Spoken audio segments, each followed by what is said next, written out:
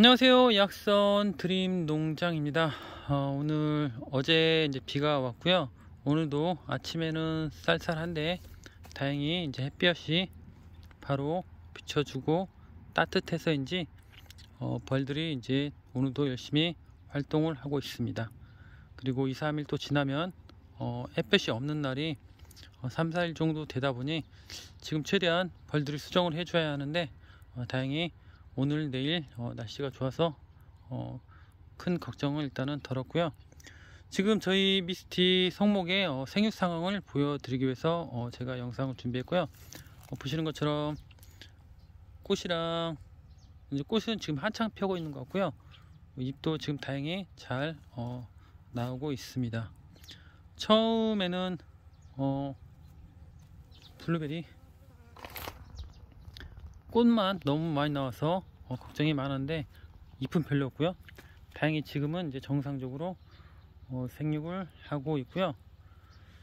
그리고 보시면 제가 이제 여기 결과지의 두께는 괜찮은데 이렇게 지금 길이가 짧은 거는 어, 미스티 특성상 어, 꽃눈이 거의 뭐 처음부터 끝에까지 다 이게 꽃눈이 생겨가지고 어쩔 수 없이 다 꽃눈을 딸 수 없어서 이제 뭐 세네 개 정도 남기고 안, 안쪽에서부터 눈을요 잘라서 이런 모양인데 이제 아마 내년에는 제 생각에는 지금 여기 딱 보시면 여러분도 아실 거예요. 여기 지금 이렇게 작년에 최대한 나온 새순들 이런 경우는 다행히 끝에만 이렇게 꽃눈 있거든요. 여기도 보시면 이렇게. 근데 이제 좀 오래된 여기도 보면 작년에 이제 새순이잖아요. 새순 같은 경우. 그래서 저희 미스티 같은 경우에는 최대한 새순을 많이 두어서 새순에서 나온 결과지를 내년에 일단은 두는 쪽으로 지금 볼 거고요. 구대 같은 경우는 보면은 여기도 이 구대인데 보시면은 어 잎눈도 나 잘 나오고 있지만 지금 보면은 이 결과지에 끝에 이게 해놓은 게 거의 안쪽에서 좀 잎눈이 좀 적기 때문에 이런 식으로 잎눈이 더 나오면 좋거든요. 쭉 더 많이. 그래서 그런 식으로 내년에 지금 더 들려고 하고 있거든요. 그러니까 여러분도 여러분 블루베리의 상태를 계속 한번 보세요. 어떤 특징이 있는지. 나무마다 조금씩은 틀리거든요. 그래도 다행인 거는 이 정도 지금 수세가 잡혀지고 있다는 거. 여기는 좀 잎은 좀 적은데 꽃눈이 좀 많은 것처럼 보여요. 그래도 제가 이렇게 두는 이유는 일단은 수정될 때까지 기다려 보고 나서 그래도 어, 꽃눈은 꽃눈이 많은데 잎눈이 거의 안 나온 거는 다시 이제 그 열매를 제거할 거거든요.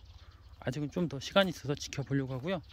지금 이제 보시는 것처럼 저희 이제 비스티 성목이 이렇게 지금 본격적으로 이제 정상적으로 잎이랑 꽃눈이 잘 나오고 있습니다. 보세요. 꽃눈이랑 잎눈? 이 정도 상태면은 어, 좋은 열매가 충분히 나올 거라고 저는 기대, 기대하고 있고요.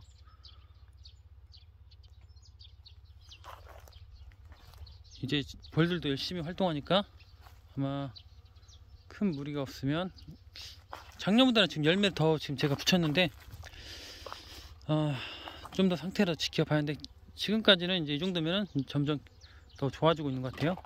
정상적으로 지금 다 잘 자라주고 있는 것 같고 보시는 것처럼 이렇게요.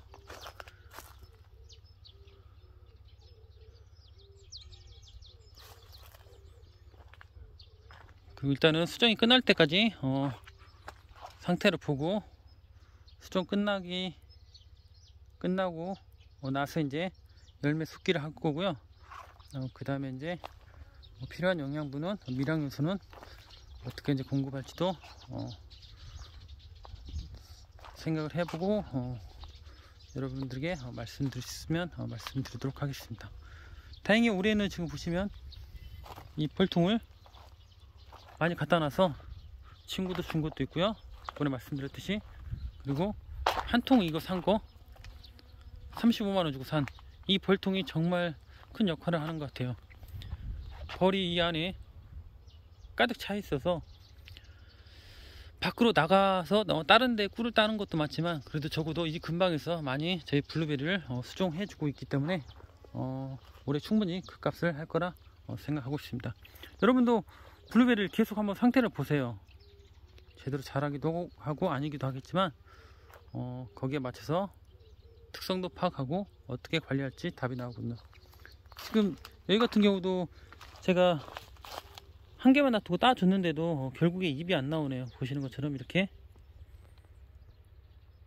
그러니까 이런 거는 어쩔 수 없이 이제 열매들을 맺어도 작으니까 따내야겠지만 보시는 것처럼 이때 잘 한번 생각해 보세요. 이게 왜 이렇게 안 나오나? 보시면 이렇게 작년에 신초 같은 경우는 이렇게 잘 새수는 잘 컸는데 구대 늙은 가지 있잖아요. 보면 확실히 이 늙은 가지에서 맺은 이런 결과지들은 확실히 더 늦게 나오고 세력도 약한 것 같아요. 그래서 내년에는 결론적으로는 최대한 작년에 자란 가지에서 쭉쭉 뻗은 가지 위주로 어, 남겨야겠습니다. 어, 여러분도 잘 살펴보세요.